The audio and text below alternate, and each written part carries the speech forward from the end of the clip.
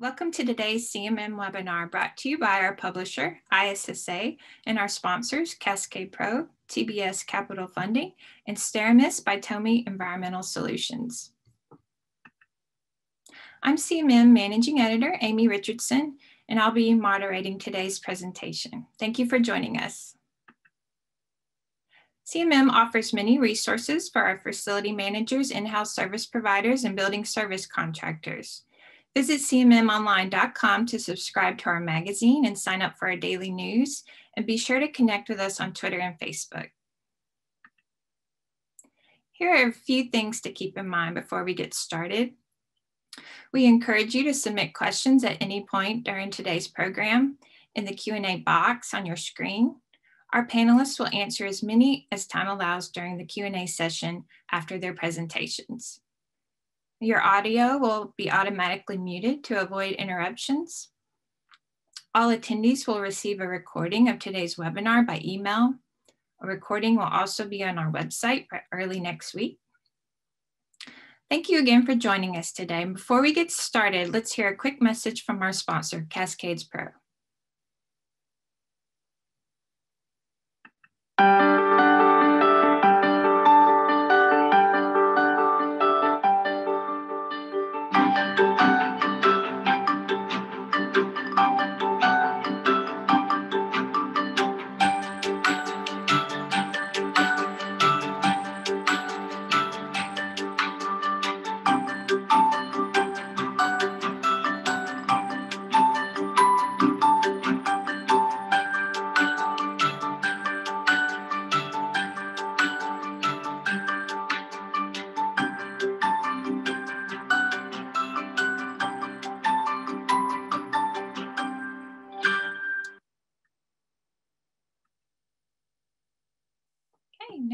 Introduce our first speaker, Darrel Hicks.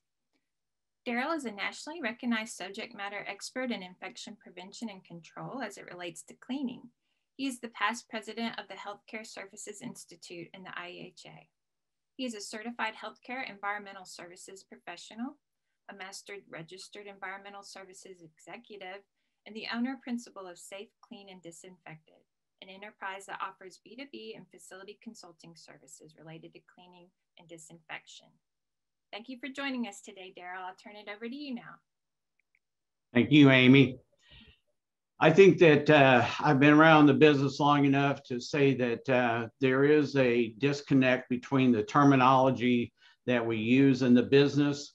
And uh, so I wanted to just start out of the shoot here saying that uh, it's important that we get on the same page when it comes to terminology and uh, that event well it's vitally important for communicating with those on the front lines of infection prevention and that's the environmental services aides or associates. And uh, when we're educating those frontline workers the esas we need to use terms that are easily understood uh, if I say the term clean or cleaning, uh, people have different ideas about what clean is. And uh, I used to ask someone in an interview, I said, So, how would you define clean? And they say, Well, you empty the trash and you wipe the windows and you uh, clean the toilet. I said, Those are steps of cleaning. What is clean? And uh, people have difficulty coming up with uh, a definition of clean. So we need to communicate clearly to those frontline uh, infection preventionists. So we need to ensure that our written policies and procedures use similar professional terminology that is unique to your segment of the cleaning industry. I think that that is one thing that I would uh, encourage everyone in the uh, cleaning and disinfection business to uh, to adopt new terms that uh, are more definitive than what we've used in the past. And it's really the sign of a true professional when you use terminology that uh, befits the uh, the job that we're doing. Next slide. So cleaning for health. Uh, there's cleaning versus hygienically clean. When we the unqualified use of the term cleaning should be avoided in communicating hygiene practices with your staff. So we need to avoid that, that term cleaning and instead we terms other than cleaning could be used to define this process and state of hygienic cleaning. Uh, so we use the terms hygienically clean or process or processing. And a process includes the elements of uh, microfiber wipers, uh, the facility approved disinfectant, and uh, a process. So, you know, those elements have to be uh, a part of the term process or processing. So it's time to replace clean or cleaning with hygienic cleaning to refer to any process intended to reduce the number of pathogens on a surface to an acceptable target safety target level, which makes it fit for purpose and fit for purpose on a floor in a uh, airport terminal is not the same as a floor in an operating room. So it doesn't need to meet uh, a higher standard. The one in the airport terminal doesn't meet to need to meet that higher standard of a uh, clean, disinfected environment in uh, where they're doing open heart surgeries. So you have to look at the fit for purpose. How's that uh, that room or that piece of equipment going to be used? And uh, that's the safety target level. It might only be cleaning that is necessary and not uh, disinfecting. So next slide, slide. So we're here to talk today about uh, the intersection of hands and surfaces. We have to have clean hands touching clean surfaces. And uh, then when you touch those clean surfaces, you don't have to worry about touching your face and uh, your nose and your mouth.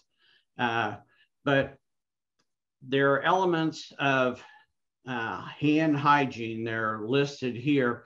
So in order for hand hygiene to be efficacious, and I'm not talking about uh, alcohol-based hand sanitizers because that is uh, like an interim measure, not the goal of clean uh, hands. But why is it that we talk about clean, what makes uh, hygienically clean hands different than hygienically clean surfaces? So we have clean running water. I know that over in, uh, in West Ghana, wherever they were battling Ebola, and people, uh, you know, they did have hand washing facilities, but it consisted of a bucket of water and a bar of soap. And uh, so you wanted to be the first person to use that, that bucket of water and not the last person because by the time four or five people wash their hands and you're just spreading things around on your hands. So you have to have clean running water. You have to have soap and you don't doesn't necessarily and i i would uh, advise against uh, bacterial um, antimicrobial soaps or antibacterial soaps uh, because of some of the issues with that but just regular soap because the agitation is what's going to uh, to work and loosen the soil uh, on the hands. And it takes some time. And you know we we have through COVID, we have uh, you know been kind of beat over the head about this hand washing and hand hygiene. But uh, you know, we talk about the time it takes, and uh, whether it's a birthday song a couple of times or singing the alphabet to yourself, whatever it is, you have to have time in order for that agitation to really loosen the soil and attention to places where germs hide under your fingernails, on your wrist, in between your fingers, and especially uh, at your wrist. And uh, you see people washing their hands with their wristwatch on or with bracelets on, and they're afraid to get them wet. And but the wrists need to be uh, washed and cleaned at the same time. And then there's thorough rinsing with clean running water and then drying with a clean paper towel. And I'm not an advocate of uh, electric hand dryers in, uh, in restrooms. And that paper towel will finish off whatever uh, soils may be remaining uh, after all this process. The paper towel is that final wipe uh, of the, the skin on the hands and uh, wrist. Next slide. So if we use those same uh, elements in cleaning and disinfection, so here are six steps to environmental hygiene. So efficacious environmental hygiene should include these elements. And you'll see the similarities between this and the hand hygiene. Uh, first of all, clean microfiber wiper or flat mop, a general purpose cleaner with pH of seven to nine, uh, elbow grease, agitation. And this is something that I was teaching a, a class and uh, had a young person raise their hand and said, Where do I buy elbow grease? And she just got a laugh from some of the older people in the classroom because that's what we have called, uh, you know, putting some umph into it. So you have to give some pressure to that uh, to that microfiber wiper or flat mop, and not just a, a quick swipe. So there has to be a little bit of elbow grease, some agitation, and we have to pay attention to where the germs hide along crevices, ends of uh, tables, and what have you. But you have to have kind of microbiologist uh, vision and see where those germs might hide. Uh, when the surface is dry, apply a sporicidal hospital grade disinfectant and must remain wet for 60 to 90 seconds. And the reason I say this is that sporicidal, uh, I think, is the benchmark disinfectant uh, wherever you are providing uh, these cleaning and disinfection services that sporicidals are the highest level. And because it kills spores such as C. diff, it also will kill everything underneath there, the enveloped, non-enveloped, lipid, non-lipid, all those and the viruses as well. So uh, in the 60 to 90 seconds, I know that the label may state differently, but uh, when those disinfectants are registered uh, for EPA registration, uh, when they go through the AOAC test that uh, there is no agitation on those stainless steel titers that they uh, dip into the disinfectant. So I'm just saying that uh, because we have cleaned the surface, uh, gotten rid of the soil, and that's another step is that uh, these disinfectants that are registered with a 5% soil load, um, it's once we get the surface clean, then you you don't have the disinfectant fighting the active ingredients in the disinfectant fighting the soil on the surface. But then this last step is rinse with clean water and wipe dry since many disinfectants are corrosive to surface materials and or leave a visible film when dry. I know there are some disinfectants that, uh, that are much kinder to surfaces, but some of the legacy disinfectants we've been using for years have uh, damaged beyond repair a lot of surfaces in not just in healthcare, but throughout society. And, you know, it always uh, hurts me whenever I go into a public restroom and you see the chrome on the sinks just gone because they used uh, acid based bowl cleaners on the faucets. Next slide.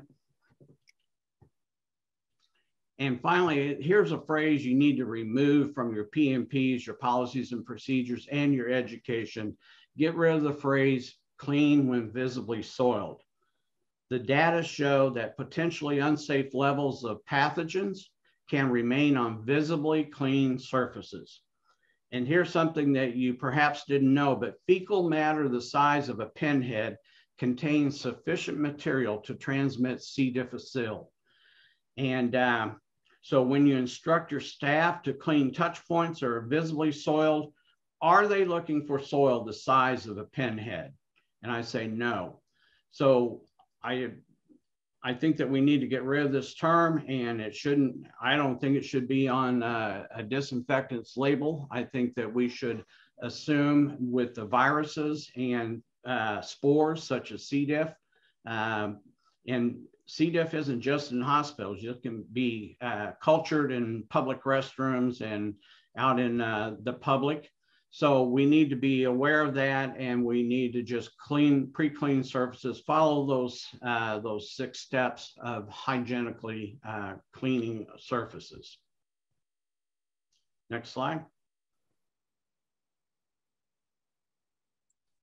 Thank you. All right, thanks, Darrel. Um, I'd like to remind our audience you can submit questions for the Q&A throughout the program. So if you have any questions for Darrel, please go ahead and submit those and we'll get to them um, after our second speaker today. Before we turn the program over to Mike, let's hear from our sponsor, TBS Capital Funding. This stinks. You know what stinks even more? Unstable cash flow. Waiting 30, 60, or even 90 days to get paid by your clients can affect your ability to buy supplies, pay your vendors, advertise, make payroll, so much more.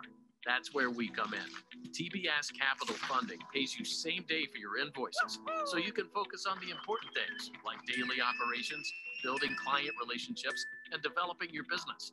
Let TBS Capital Funding clean up your cash flow. All right, now I'd like to introduce our second speaker, Mike Canales. Mike has worked as a healthcare facilities director for 21 years. He currently serves as the program director for the Healthcare Facilities Leadership Degree Program at Owensboro Community and Technical College in Kentucky. Mike has been a longtime American Society for Healthcare Engineering member. He is a certified healthcare facility manager and is a founding member and past president of the Virginia Society of Healthcare Engineers. Welcome, Mike. Well, thank you, Amy, and thank you for allowing me to present. Um, I'm excited. Um, we're going to talk today about how the physical environment intersects with the users in the environment. I'm speaking at a pretty high level. You know, the physical environment, there's a lot that we've done over the years, and even more so in recent years, and I think in the future, to really change in the environment to better protect the patients. In 2007, there was a report that came out that said there were was it 1.7 million folks had healthcare associated infections with 99,000 deaths We've improved to about 750,000 infections, and I think it's approximately 75,000 deaths annually. It's still extraordinarily high number, but we've made a lot of changes. We have a long way to go, and it's a, it's a long fight. It's a long journey. On the next slide, I want to go over the objectives, and it's going to be pretty high level objectives. First, we're going to talk about the introduce. We're going to introduce the means of transmission from a physical environment perspective and the chain of infection. We're going to talk about ventilation at a very high level. We're also going to talk about the complexities of installing alcohol-based hand rubs. It's really complex, and it's good for the user to know some of the complexities we have to deal with because these alcohol-based hand rubs are basically incendiaries. And then we're going to touch on the importance of hand washing and sink placement. On the next slide, we're going to be talking about the chain of infection. We're really talking about one area. Each of these links, if you could disrupt each of these links, you can stop infection. So, for example, the agent itself that exists in the environment, if you can eliminate it, you could stop it. The reservoirs where it grows, the exit, if you prevent it from leaving, the transmission, and that's what we're going to primarily talk about today, or entry, or somehow if you could have the host themselves somehow be protected. Most of us protect because we're not immunocompromised, but in healthcare, most folks are immunocompromised and some are severely immunocompromised. On the next slide, I want to talk about that for just a moment. When you look at the top of this chart, the healthy person, when we get exposed to something in the environment, we may get just a little bit of an allergic reaction. We might sniff, we might cough, you know, we might get a runny nose. But, and again, if you go down this list, you see surgery, you see chronic obstructive, steroids, and the further you get down the list, the more immunocompromised you get, the more severe the reaction will be to what is normal in our environment. When you get down to bone marrow transplant, where they've wiped out their immune system, they're highly vulnerable to almost any kind of infection. On the next slide, what I want to do is I want to talk about the means of transmission from three modes. There's contact, we talk direct and indirect, airborne, and surface. So contact, direct, indirect, you're most familiar with. We talked about hand washing until we're exhausted. But there's also this thing called incidental contact or indirect, where we touch things in between. You know, one of the things when I used to monitor folks is when you're like in a um, a recovery room of an OR, and there's five beds, six beds next to each other, and they're taking temperatures. And between each temp, they record on a chart and they go back and forth and back and forth. And we used to watch them. And it was so hard for them to pass that monitor because obviously they touch the thermometer, they go to the patient, they go to the board, and then they go to the next patient. And do they wash in between every incidental contact? Very difficult. You know, airborne is another one. We talk about in the air, what's in the air. We talk about humidity levels, talk about coughing and sneezing, you know, air exchanges of the air moving in the environment. That's another way we deal with transmission. And then there's surfaces, which is, you've had a lot of conversation about surfaces. I'm sure you've heard lots about surfaces, but when it comes to facilities, you know, we've changed, we don't use wallpaper in rooms anymore. We know that the glue in the paper is food. You know, we, we even learned recently that stainless steel has issues, so we don't use that as much. You know, counters and shelves, we're infusing them with uh, with copper, or we certainly know we're not meant to use wood you know, flooring, we use monolithic flooring, which is just completely to the wall, no more cove base, so there's no gaps and cracks, and it rolls up to the wall.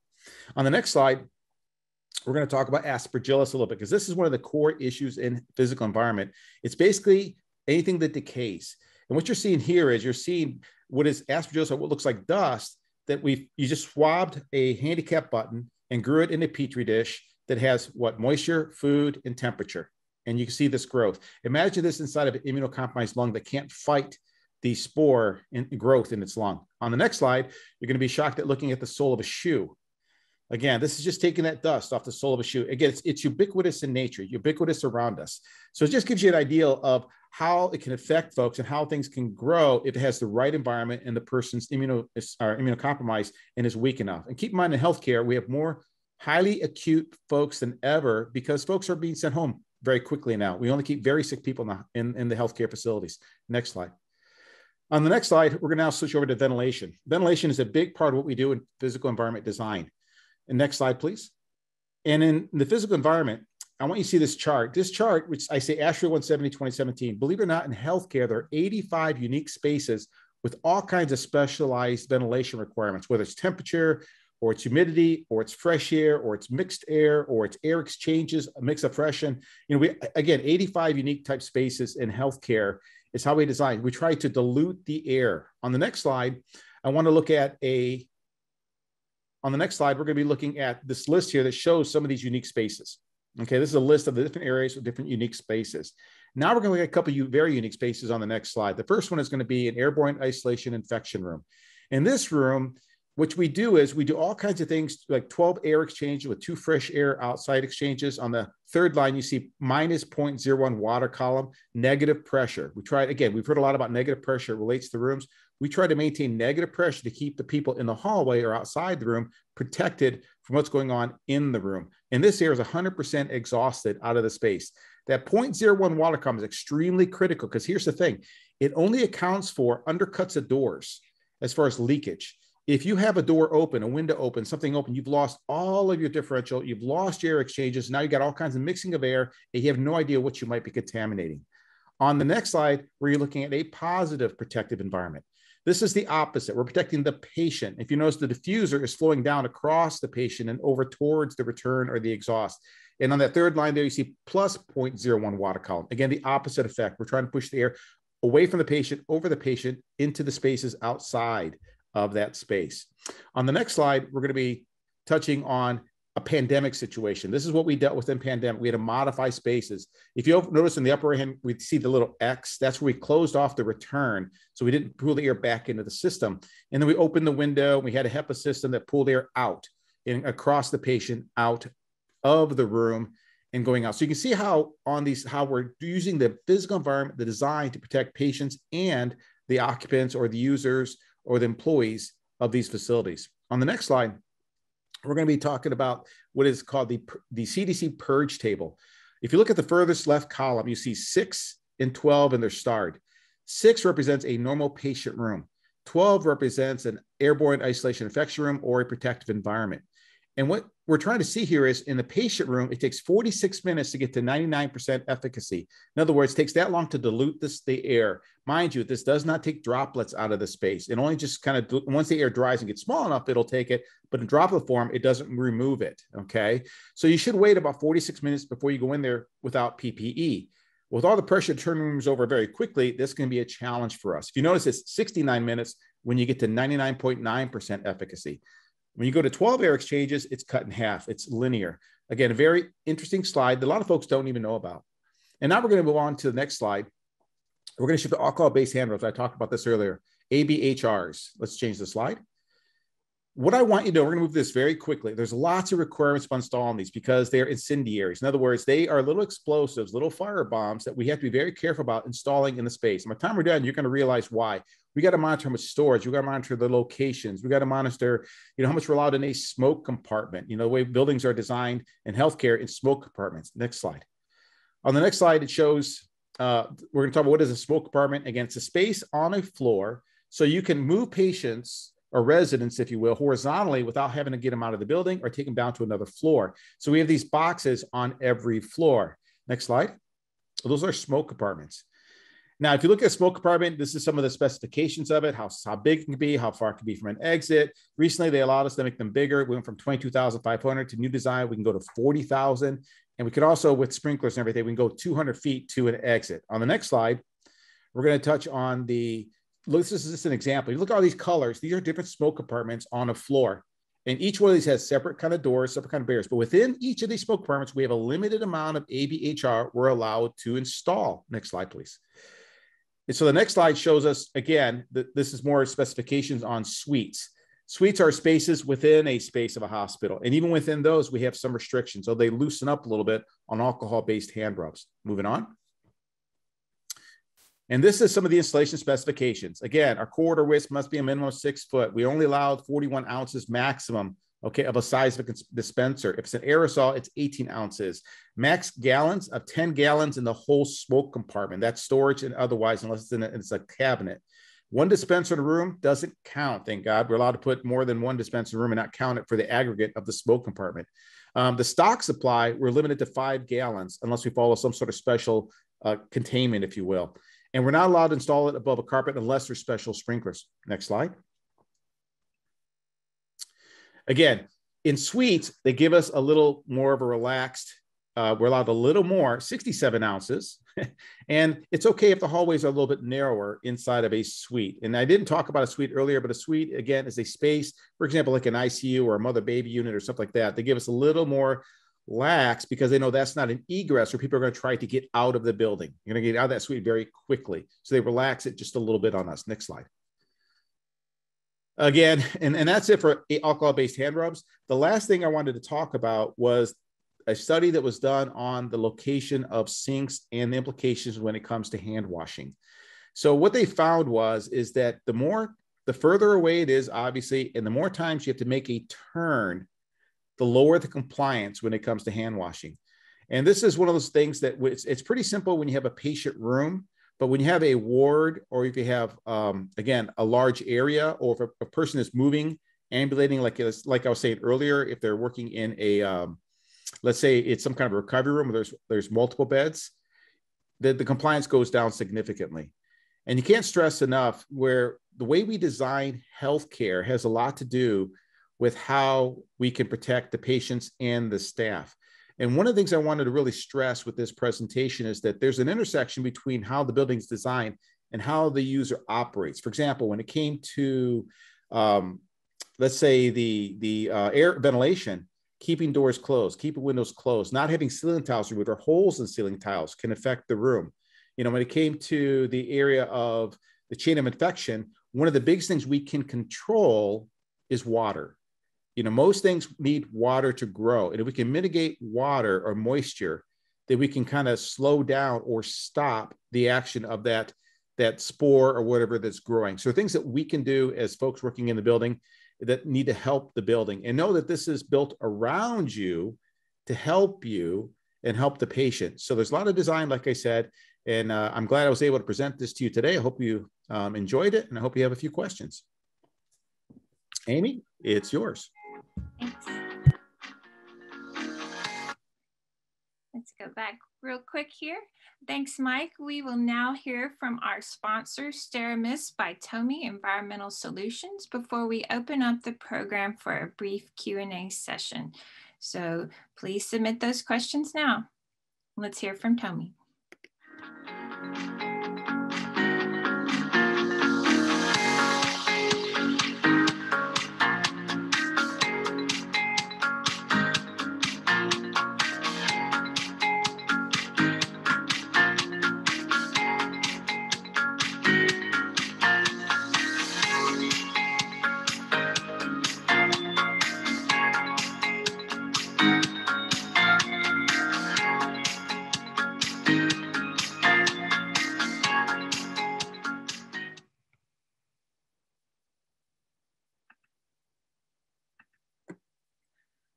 Right. Um, Darrel and Mike, we received some questions from the audience, and so we'll go ahead and address those now as time allows. And if you haven't yet, please go ahead and submit those questions now.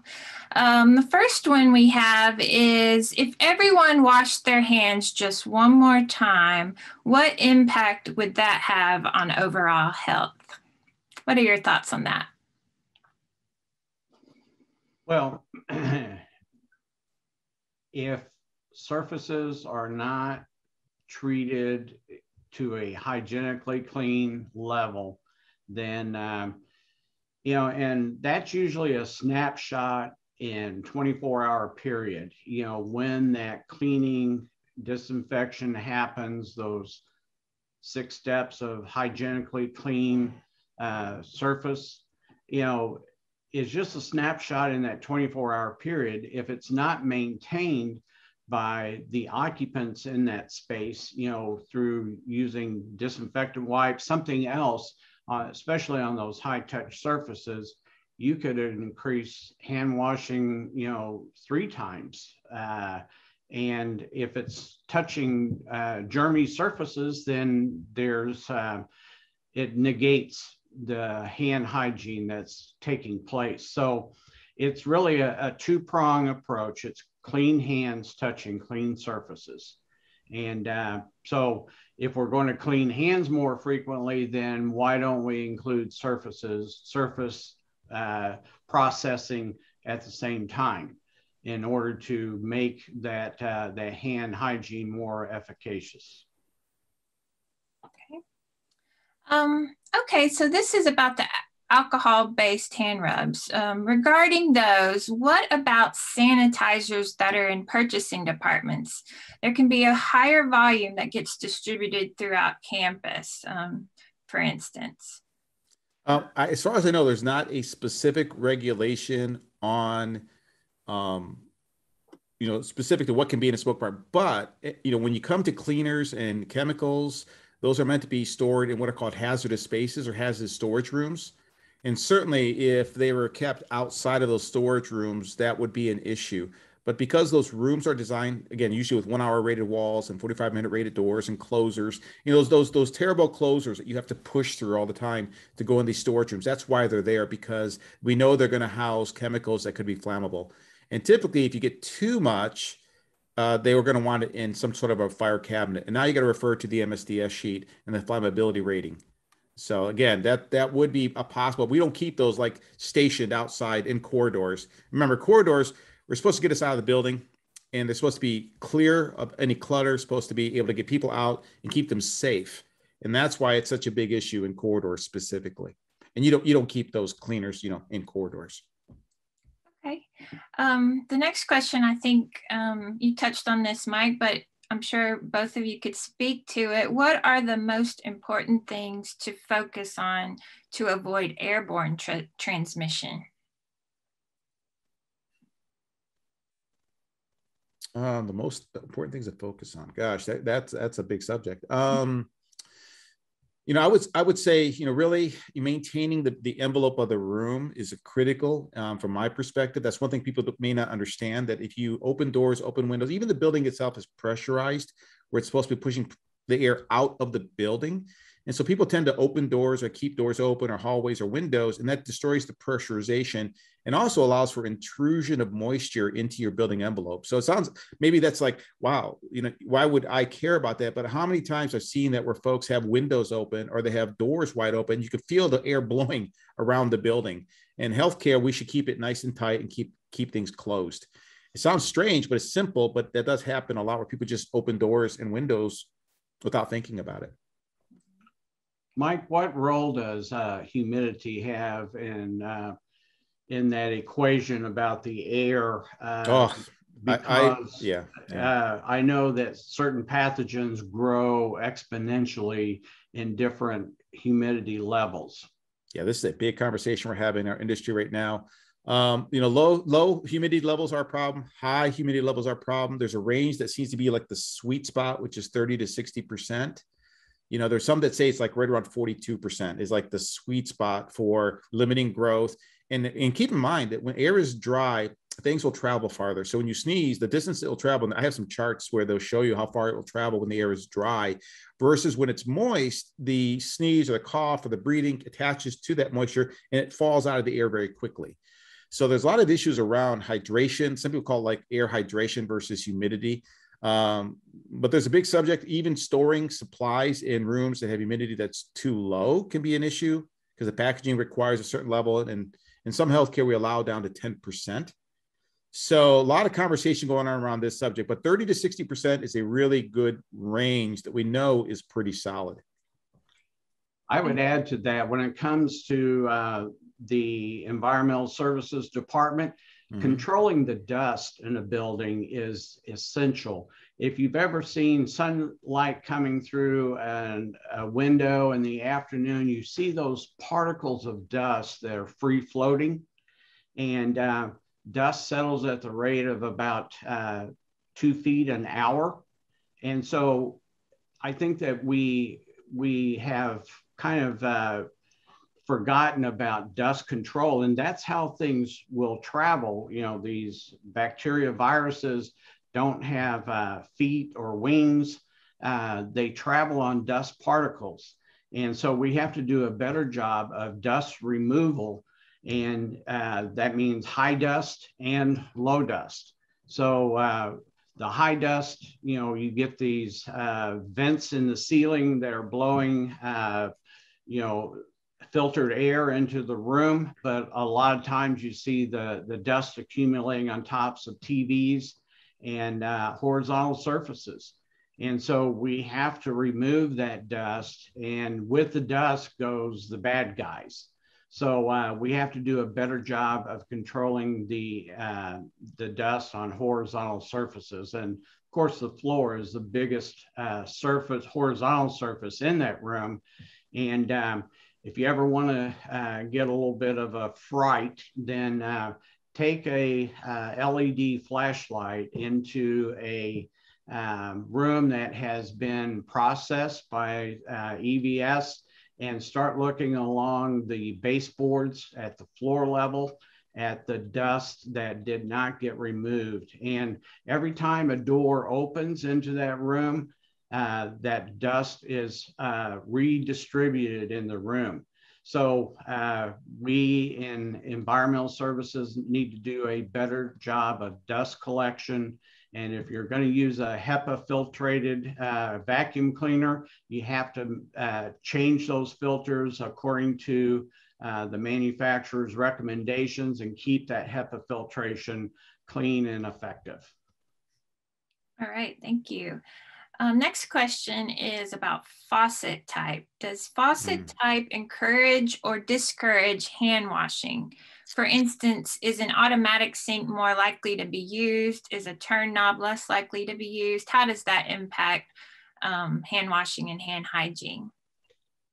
Um, you know, one of the things I've read recently, and it's it's it's one of those things where it's kind of a contradictory situation, but the the hands-free type sinks have a lot more mechanical moving parts inside of them and therefore there are places higher potential for growth.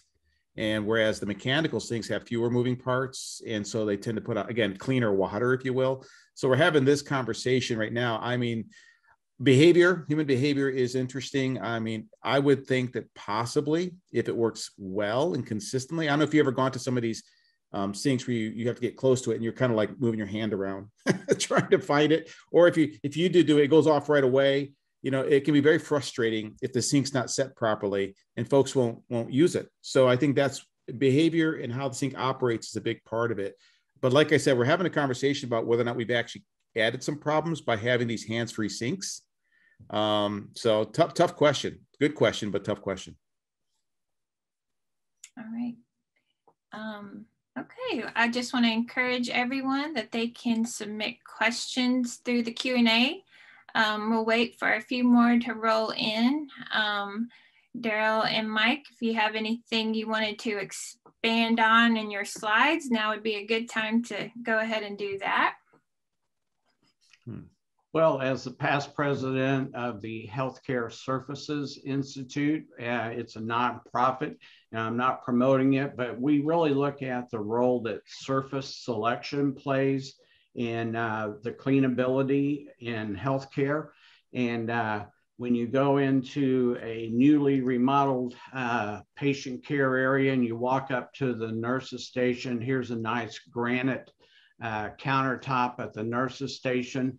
Um, that is not the right surface for uh, for healthcare, really, because just think about that granite was in the ground and water was running through it, and so once water gets into uh, that granite surface, you know, that gets wiped routinely, uh, you know, with cleaners, disinfectants. Once it gets into it, uh, you know, it can begin to grow things and you can't, you know, disinfectants then won't reach uh, deep down into that, uh, that surface. But that's just one example. And uh, stainless steel in, in hospitals seems, to, especially in the operating room, surgical areas, seems to be the surface of choice. But uh, if you look at the stainless steel that's been installed and six months after it's been installed, look at a micrograph of that stainless steel, you'll see the pits and the valleys where uh, microbes, uh, you know, when you talk about, uh, you know, you can fit all the coronavirus in the world, all the virus, coronavirus in the world in a soda can. Uh, it doesn't take a very much of an opening for viral uh, particles to settle into things like stainless steel. And uh, so you need to consider finishes and uh, furnishings. And uh, we have soft surfaces in, in these patient rooms. And the, the one that is most critical, I believe, is that patient mattress because it is a soft surface. And for years, we have used disinfectants on those uh, mattresses. And uh, within six months after that has happened, uh, you can get strike through in those mattresses. And that's why the Joint Commission has put it on their list for you to inspect the mattresses at each discharge terminal cleaning. And should keep a record of that because mattresses uh, have been implicated, you know, through FDA that uh, these mattresses have had events where patients have uh, gotten blood from the mattress up through uh, and onto their skin because of these the disinfectants, the body fluids, and uh, on that bed. And you cannot disinfect that mattress. You can only, uh, at best, sanitize it. But the FDA's got a list of uh, instructions that are not the same as the manufacturer's IFUs. So you need to look at the manufacturer's IFU. Some of them say do not allow the disinfectant to pool on that surface because it will damage it. And uh, hospitals are spending a lot of money on mattress replacement because once a year you're supposed to unzip that mattress and inspect underneath in that uh, the core underneath that mattress cover and you will see uh, discolored foam and it could be blood it could be any number of body fluids and or disinfectants. And when a patient lies down on that mattress if it went went, went through one way it'll come out through the same way. So um, you need to keep uh, keep an eye on how you are processing those mattresses. And if you do it the way the the fda recommends you're basically following that uh, six step uh, process that I showed you earlier about cleaning and, and then disinfecting and rinsing as a final step. All right, thanks, Darrel. Um, someone has a question about ATP meters. Um, can one really trust ATP readings? Do they not just measure microbes alive or dead? They don't measure microbes, they measure living uh, organisms or dead organisms. It can be a dead organism, but if I take an apple and cut it in half and rub it on a surface and then use ATP, uh, I can get counts of 3,000 on a surface. And, um, but is that, uh, is that apple juice, uh, you know, contaminants, you know, so you don't know what is in the makeup of whatever reading.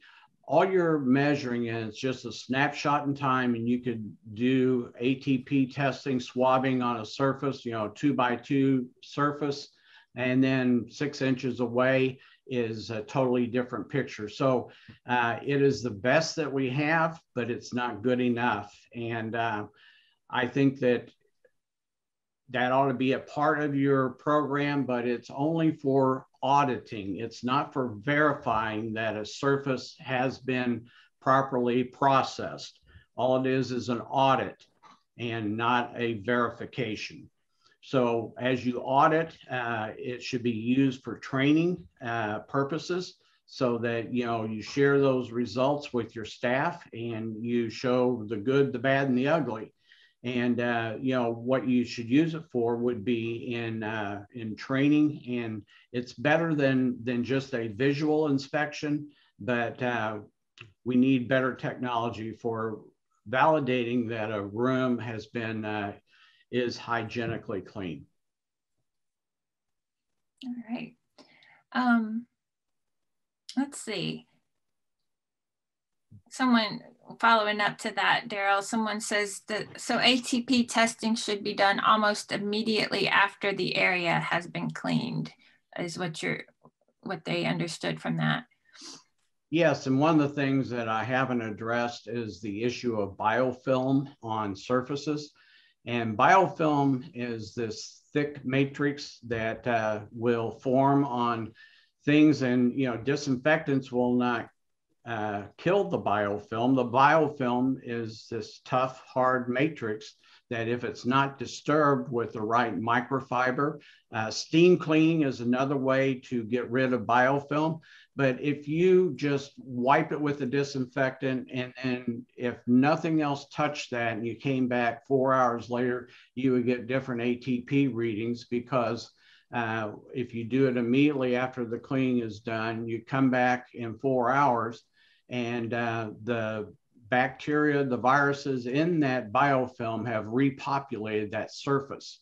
So that's why I go through those uh, steps of hygienically clean because you have to disrupt that biofilm with that elbow grease and with the right microfiber products and or steam in order to disrupt that biofilm. People say, well, if I use the right disinfectant, then it will kill the biofilm you can grow biofilm in a bottle of uh, quaternary ammonium compound disinfectant, you know, and that's why, you know, the manufacturers suggest that you don't just top off your disinfectants, but that you dump them and you triple rinse the bottles and try to eliminate that biofilm that can begin to grow in a disinfectant bottle.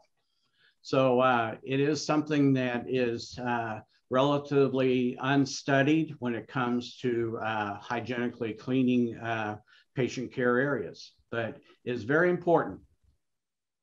Okay. Uh, someone had a question. You were talking about dusting earlier, um, Darrel.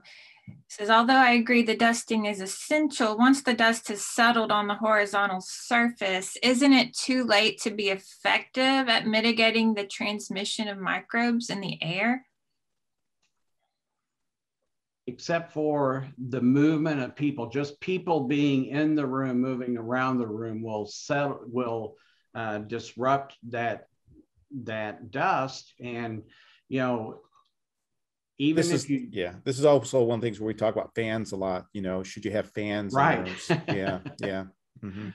But just the the fact that people are in and out of the room, you know, if you ever sit and visit with someone that's a patient and you see, you know, eight to 10 people coming in and out of the room in the hour long that you're there. And so stuff is getting stirred up in that room. And uh, if we don't do a better job of dust removal, and, and Mike talked about the HVAC, uh, but, um, you know, depending on where the, um, where the space is, but I can tell you that, uh, you know, when you get when you look at the number of air exchanges, Mike, you know, in the OR, it's so much higher than it is other areas. But um, when you get into a small space like a patient's bathroom, there's very little air exchange in there. And uh, so I think that we need uh, to understand uh, the movement of air and how that dust gets uh, redistributed around the building and gets picked up. And that's why MRSA can be uh, can be sampled in rooms where there were no MRSA patients. And it's traveling on the, the uniforms of uh, caregivers going from one patient to the next, but it's also carried in, in dust, I believe, from, uh, from room to room and redistributed. And uh, those privacy curtains hanging by the, the patient's bed, you can put up a brand new clean curtain and you can go back and test it uh, 14 days later. And with no MRSA patients in there, you will find MRSA on those curtains, along with VRE and uh, C. diff has also been sampled. So, you know, that's another caveat is that you have to exchange those curtains more frequently but once you determine what that frequency ought to be, people say, well, we do it once a year or when they're visibly soiled. Well, I just explained to you that a brand new curtain hung up in that space uh, can be contaminated within 14 days because think of the people that go in and out of that room and touch that curtain and uh, then, you know, take care of the patient.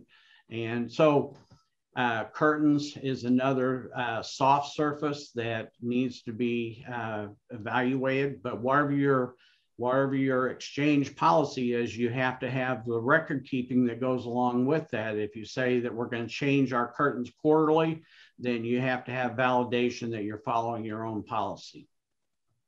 All right, thank you. Um, about air exchange, someone said if if there is a little to no air exchange in an area, how long does it typically take spores to settle? Do we? Yeah, any- well, I think I think the the answer there is that if you don't have air exchange or returns, you get a stuffy room that's going to build up dust and moisture. So that's a mistake we often make is we modify spaces and we put a supply, but we don't put a return or an exhaust. And a return takes it back to the air handler, exhaust takes it out of the building directly. And so it's very important to have some sort of return or an exhaust. Sometimes what they'll do is they'll accommodate that by cutting a hole in the door, putting a grill, or raising the undercut to get some sort of air movement. You really need air movement to keep the air from becoming stale. And so the question I think is more tied around you really need, if you have a space that um, is critical of any kind, in any kind of way, there needs to be some kind of return exhaust or something to vent that space so air can move in exchange. Okay. Um, back to sinks. Um, Mm-hmm. This person says, I find many sinks run cold water for a long time. Mm. Uh, what is the temperature range recommended for sinks? Well, if you're a long-term residential extent, it could be 110, 115, possibly to avoid scalding. In hospitals, it's 125 Fahrenheit. Uh, unfortunately or fortunately, 140 degrees is what you need to essentially treat for disease or for bacteria like Legionella in the system, but that's too hot to scald folks. So it's a complicated issue. Um, what the proper sink temperature should be. The biggest issue comes with warm water is do you have a good recirculation system and is that set properly? And how far are you from where that water is circulating? So uh, that again, plumbing is another big area of complexity that really is building to building to building and system to system to system. Not sure if that answers the question, but that's that's that's my background on on water Mike, systems. are you aware that yeah. um, I believe it was CDC came out with a study that mm-hmm. said that um, warm water hand washing is not um, necessary, that cool water, you know, with the right friction, soap, time, all that is uh, just as effective? Uh, I believe that I, I, can see how that's true, but no, I'm not familiar with the study. Yeah. Again, as you would agree, it's more about how you wash your hands right. as much as it, it's more about that than it is really even about the water temperature. But yeah, exactly. Yeah. Mm-hmm. Okay. Um, well, this is kind of a broad question, but um, what are your thoughts on products that claim to continue disinfecting for days? Do you think this hmm. is actually working. Some of those claims are for bacteria only. And um, So I'm aware of uh, a couple that have viral claims, uh, but I think the viral was only for um, COVID 19. And uh, there are viruses that are much tougher to kill than uh, COVID. COVID 19 is a coronavirus and is uh, can be um, disabled with soap and water um, because it, it has an envelope on it that soap uh, breaks down that envelope and makes the uh, the core susceptible to uh, to the water and the the mechanical action of washing your hands whereas uh, some of these like norovirus and uh, adenovirus and RSV uh, are much tougher to kill so I think that EPA is allowing uh, claims to be put on labels, but I don't think that any of, of uh, those EPA is allowing greater than a 24 hour period, even though the studies may show that it can last for 30 days, 60 days, 180 days. I mean, some uh, manufacturers of these antimicrobial coatings are claiming that, uh, you know, a year.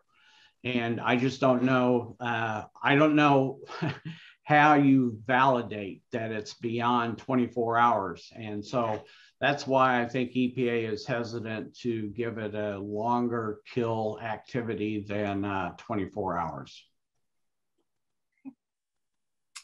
All right, it looks like we have time for one or two more questions. Um, we have one here back to ATP meters. Um, if you um, if you are assuring sanitization, wouldn't any protein be an indication of incomplete process? Therefore, doesn't the ATP test process make for the best available protein sanitation test? It's the best that we have. And um, like I said, it's just a snapshot in time and it's a, it's a like I said, it's an audit. It's not a validation because you can't uh, bring validity to the entire room uh, from that one ATP uh, test that you took. And um, CDC lists about 19 different uh, high touch surfaces in a patient room.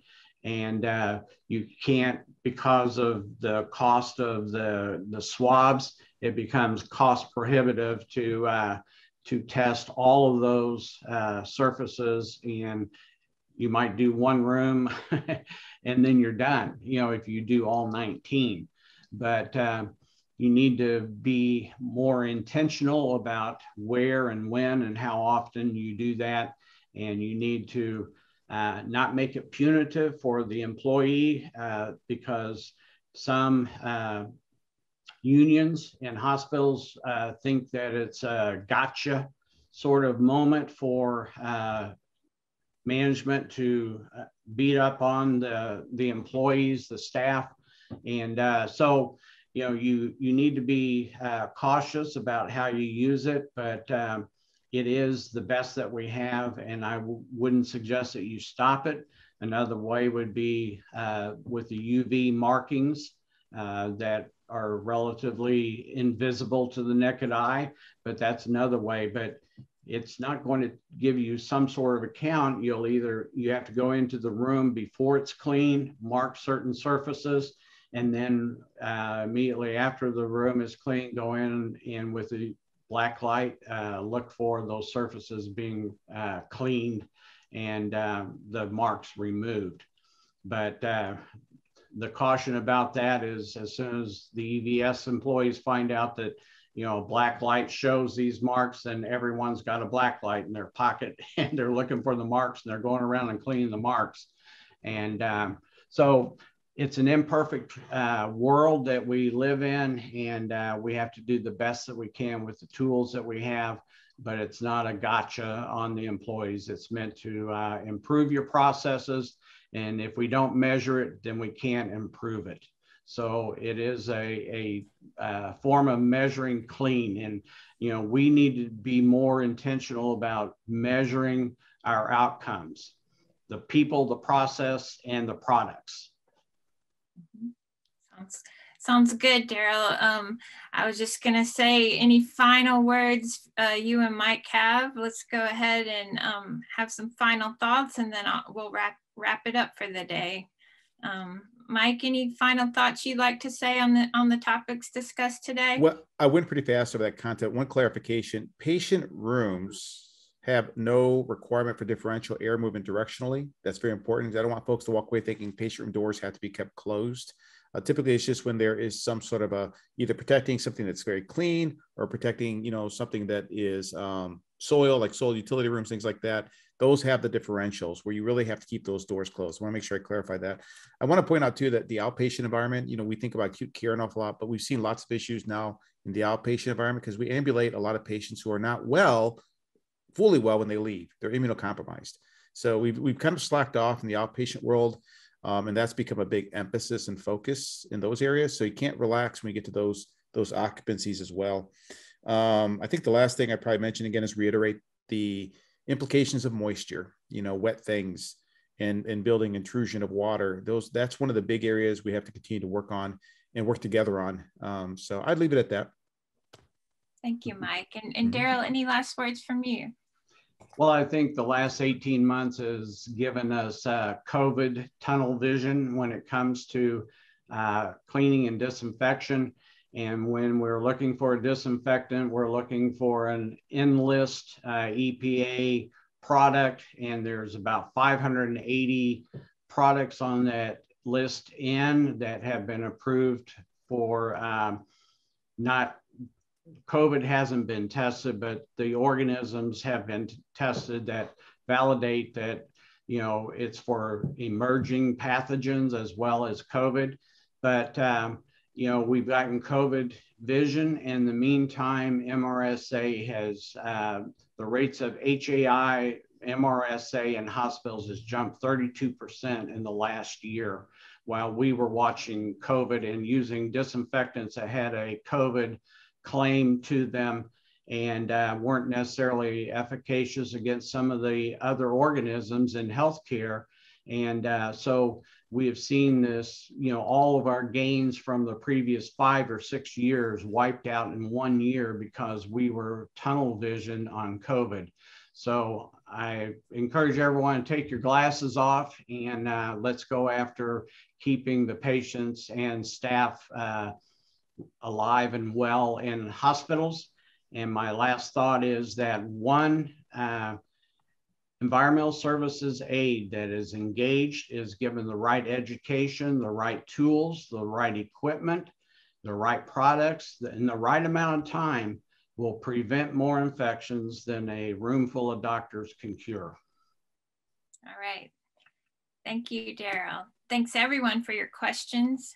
Before we conclude, I'd like to thank our webinar sponsors, Cascades Pro, TBS Capital Funding, and SteraMist by TOMI Environmental Solutions, and our expert presenters, Darrel and Mike.